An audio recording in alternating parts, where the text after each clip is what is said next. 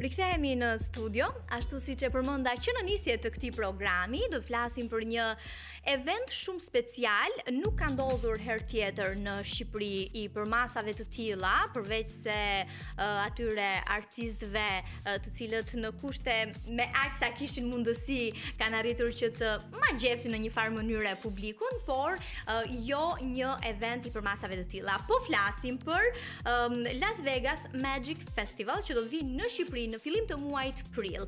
Uh, në fakt në në fund të shekullit të 19 arti i magjisë si një formë argëtimi u bë i famshëm në të gjithë botën.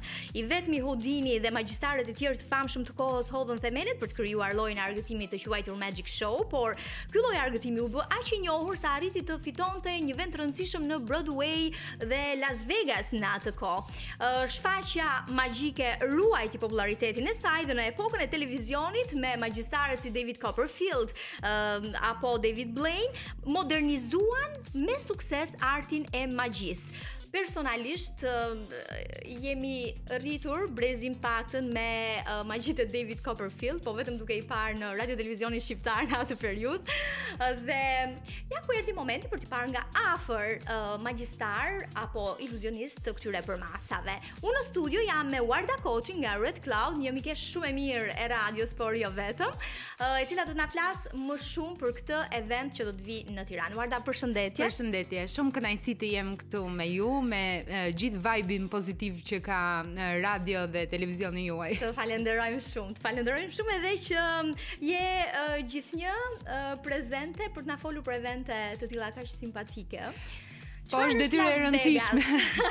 Çfarë është ky ky event që do të vijë në Tiranë? Ë uh, Las Vegas Magic uh, Festival është një projekt i cili do të ndodhë në datat 5, 6 dhe 7 prill në Pallatin e Kongreseve. Në të treja ditët do ketë gjithsej 5 shfaqje. Okej. Okay. Uh, ku shfaqja e parë do të jetë pasditen e të premtes nga ora 7 deri në orën 9. ditën e shtunë me datë 6 prill do të kemi dy shfaqje nga ora 3 deri në 5 dhe pastaj nga ora 7 deri në 9 dhe e njëjta gjë edhe të dielën. Pra në 3 ditë do të jenë 5 shfaqje. Në fakt është e njëjta shfaqje e cila përsëritet në të pesta, uh, ah, okay, oraret e ndryshme. Pysja, po. uh, pra nuk janë shfaqje të ndryshme.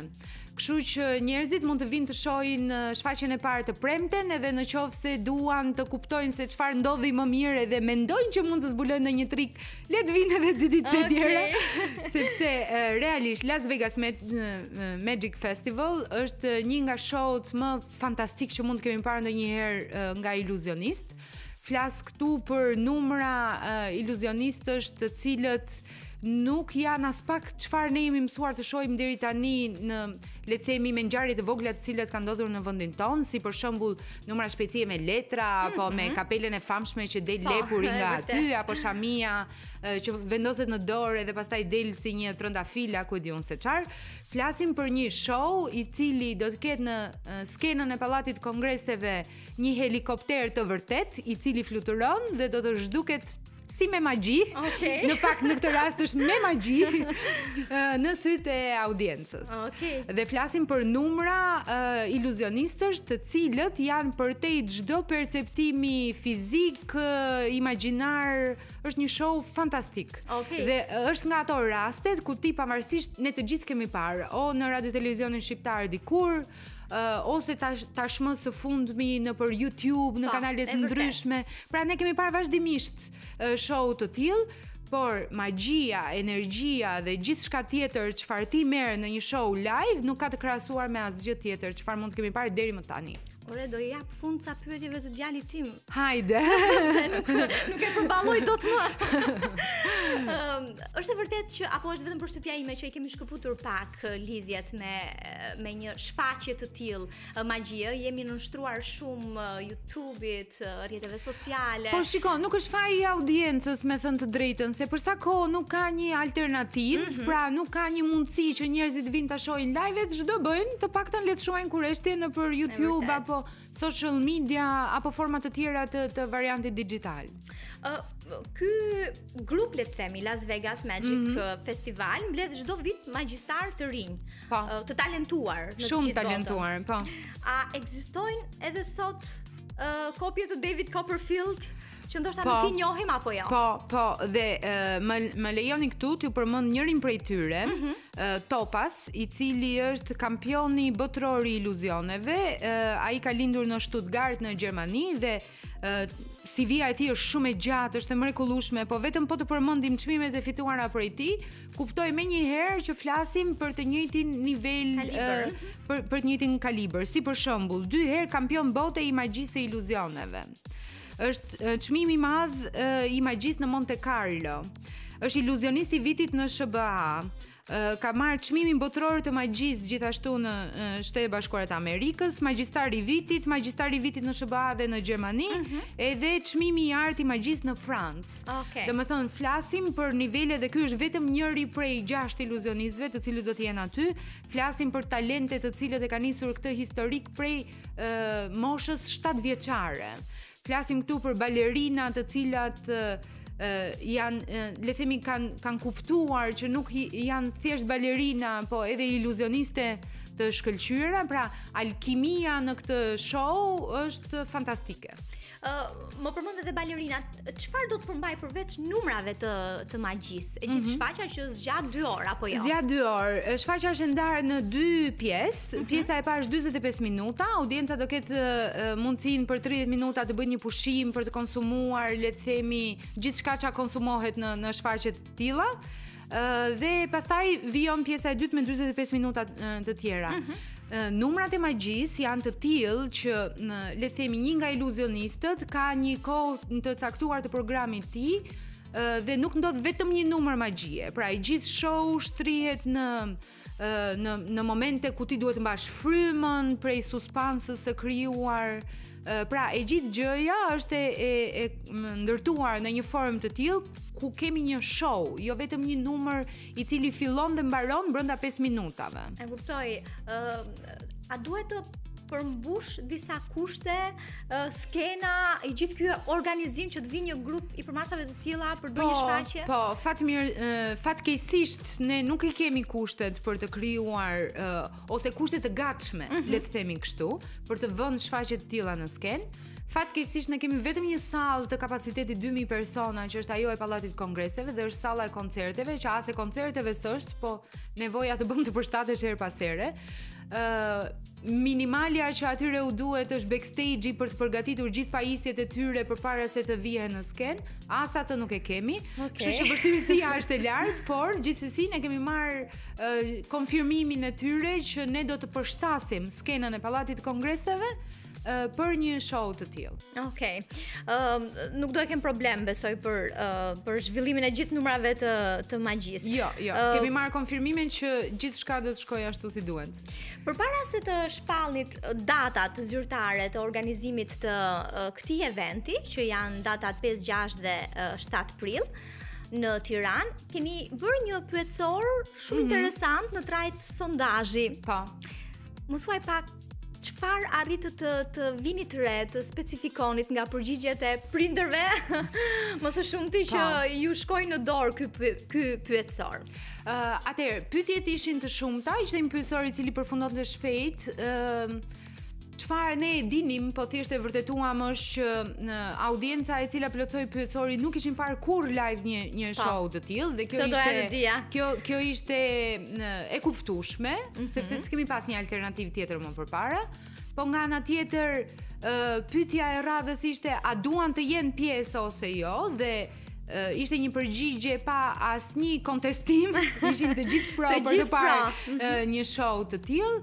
Sigurisht na bëri uh, shumë përshtypje në fakt fakti që shumica prej tyre donin të paguanin uh, biletat në një form uh, keshi, uh, pra jo me uh, debit ose credit card. Uh, kjo kjo le të themi na na ktheu back in time. Mm -hmm. Po uh, it's okay sepse njerëzit uh, s'kan besimin me gjithë këto hakerime të sistemeve që ç'po ndodhin. e kuptojmë këtë gjë, ndërkohë gjithçka tjetër, për shembull forma e e informimit që këta njerëz do preferonin, sigurisht që ishte nëpërmjet rrjeteve sociale, edhe kjo është më se e kuptueshme, mm -hmm. por televizionet dhe radiot sigurisht që bëjnë një një punë shumë të mirë sepse duam apo s'duam ne një pjesë e mirë e njerëzve, pjesën më të mirë të ditës e kalojnë në makinë, në trafik apo duke shkuar nga një vend në tjetrin. Kështu që edhe radio dhe televizione zënë një një vend të rëndësishëm. Por sigurisht mbreti është social media. Patjetër. Jemi në në vitet kur një, një gjë tjetër shumë interesante aty, ne kishim bërë një pyetje në lidhje me sa do ishin të gatshëm nga ana financiare të paguanin çmimin e një bilete apo e gjithë familja me një buxhet total. Dhe përgjigjet ishin të tilla që ne sigurisht që i reflektuam dhe çmimet e biletave do jenë eksaktësisht ashtu si njerëzit kishin kërkuar, sepse okay. ne jemi shumë të interesuar që padyshim të kemi një pjesëmarrje po. masive.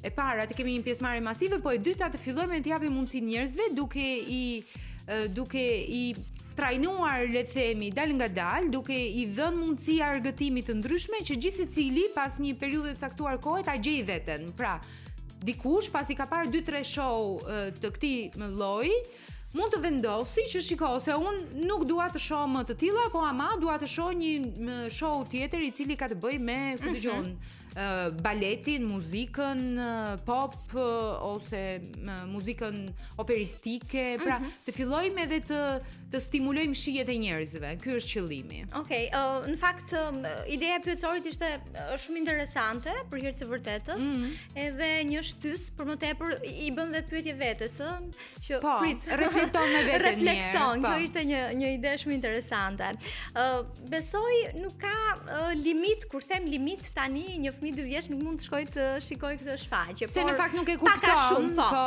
uh, le të themi që prej moshës 5 deri në 70 vjeç, nëse mm -hmm. nuk kanë probleme kardiake, mund okay. të jenë pjesë e show. Domethënë ky show është për të gjithë. Mm -hmm. Është për fëmijët e vegjël të cilët i shijojnë shumë, edhe pastaj i bëjnë 1 milion pyetje dhe unë nuk e di se ç'do na presë pas këtij show me pyetjet e fëmijëve ta. E imagjinoj. Po ndërkohë për adoleshentët të cilët sigurisht që duan të përjetojnë ngjarje të tilla, për të rinjtë shqiptarë dhe jo vetëm po të Kosovës edhe gjithë rajonit sepse në fëmijërinë e tyre apo në adoleshencën e tyre nuk kanë pas mundësi të shohin një show të tillë, e jo vetëm një show të tillë, po as shfaqje cirku nuk kanë pas mundësi të shohin.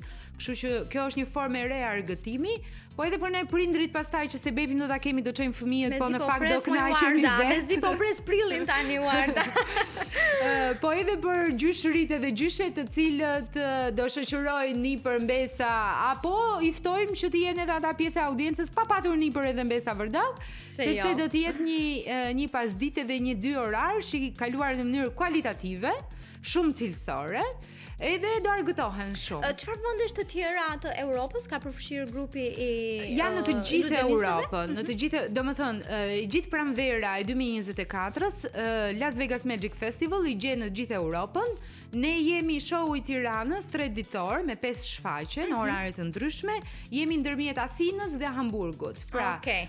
ky grup jep një javë shfaqje në Athinë, vjen në Tiranë për tre ditë shfaqje pesë show dhe menjëherë pas nesh kalojnë në Hamburg dhe pastaj vijojnë turin e tyre nëpër Europë. Jemi mësuar duke uh, gjurmuar biletat e koncerteve të artistëve big në vendet fqinje. Eksakt. uh, edhe për shfaqje të tilla ndoshta ka nga ata që shkojnë i ndjekin në vende të ndryshme të botës, por ja ku është rasti për të kursyer uh, paratë e biletës po, edhe po. për ta ndjekur në Sepse në Tiranë. Sepse një fundjavë e gjatë diku nëpër Europë sigurisht që kushton shumë më shumë se sa një biletë e cila në këtë në këtë festival një biletë kushton 17 euro ose 1800 lekë të reja, 18000 lekë. Pra nisim nga këtu. Okej, okay, super. Uh, tani për biletat, Kanë dalë që ditën e djeshme? Uh, po, biletat kanë dalë në, si, në, në vivere.al.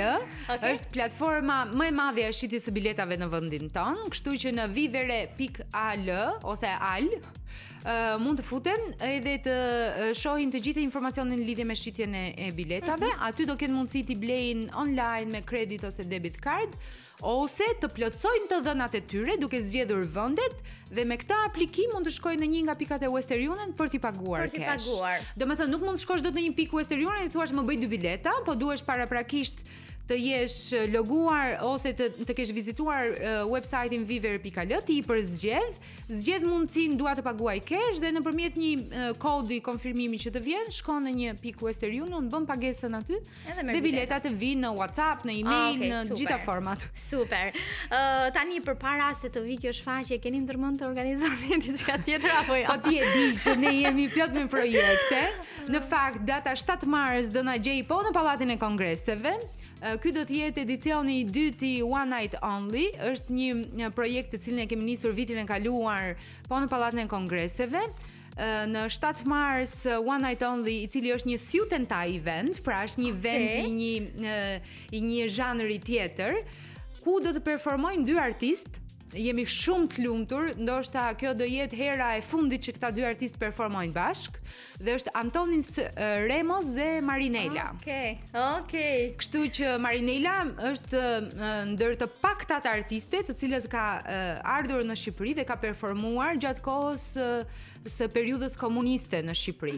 Kështu që ne kemi një, e, le të themi kemi një grup fanatikësh të cilët ë, Po, e duan shumë, po. do të jenë në sallë me patjetër aty dhe për më tepër Marinela është në një moshë 85 vjeçare. Okej. Kështu që ë, dhe të performojë bashkë me Remos, performanca e fundit kam përshtypjen ka qenë përpara 10 vjetësh i të mhm. tyre mm -hmm. bashkë dhe ne kemi interes edhe nga zonat rreth e qark Shqipërisë që janë zonat greke për të ardhur dhe parë këtë këtë koncert. Edhe biletat e, e këtij projekti mund t'i gjejnë në vivere.al.